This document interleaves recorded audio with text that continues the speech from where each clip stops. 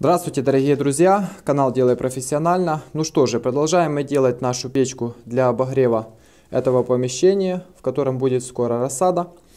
И мы уже практически сделали самую тяжелую работу, ну и славно. Потому что вчера я закончил основу, и сегодня, как видите, уже лежат трубы которые будут снимать у нас пламя, пока вся печка будет нагреваться. Допустим, мы зашли в помещение, 20 градусов тепла, нам надо быстро сделать 28. Мы ложим сухие дрова сюда, открываем наше подувало, которые, обратите внимание, без всякого колосника. Открыли подувало, закрыли двери, и у нас, благодаря тому, что будет хорошая тяга, а чтобы она была хорошая, обязательно надо, чтобы был широкий дымоход, хотя бы 20 на 25 размер. И у нас трубы накаляются. Пока накаляются трубы, они отдают, конечно же, тепло. Сюда будет задувать вентилятор. Э, я хочу сделать так, чтобы в две трубы дул сразу вентилятор, потом воздух возвращался через вот этих две трубы назад и туда опять в две трубы заходил. Получается, что по кругу нагревался до э, такой горячей температуры и уже на выходе у нас выходил горячий воздух. Ну, вот такая вот нехитрая система. Я очень благодарен тому каналу, где я подсмотрел это. То есть подсмотрела что? Э, нашу печку, чтобы была она метр на метр пятьдесят. Это я придумал, но тип такой. Получается наружная стена одна, вторая, третья, четвертая и внутри Внутри у нас получается еще одна стенка. И потом будет полное видео. Э, значит, у нас дым будет идти сюдою. Получается.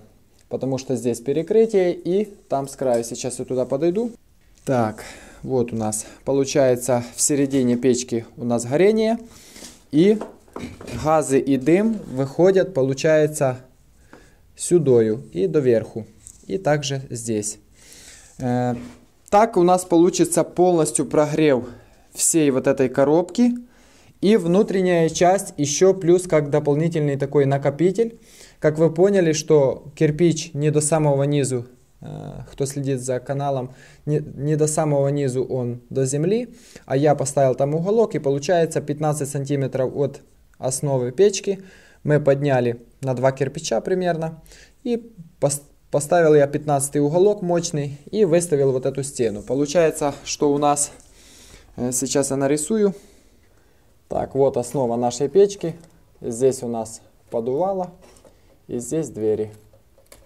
Получается, что вот так вот я поднял на 10 сантиметров, даже 15, на 2 кирпича и установил такой уголок. Получается, что здесь вот у нас стенка и здесь стенка.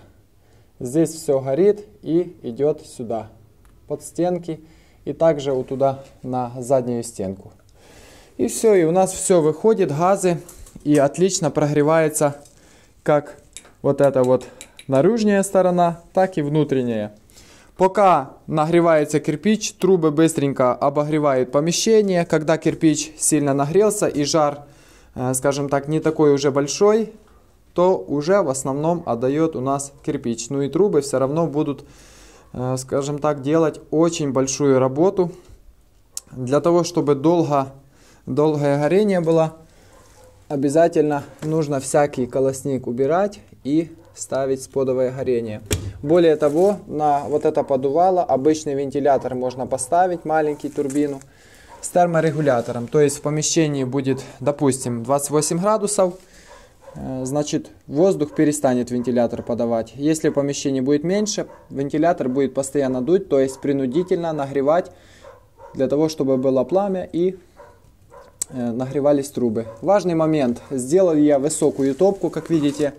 Э, значит, у нас топочка на 1, 2, 3, 4, 5, 6, 7, на 7 кирпичей. У меня дома на 8, здесь на 7. Вполне достаточно, потому что помещение здесь небольшое. Как видите, да, засуну вас туда. Ну, ничего тут вы не увидите.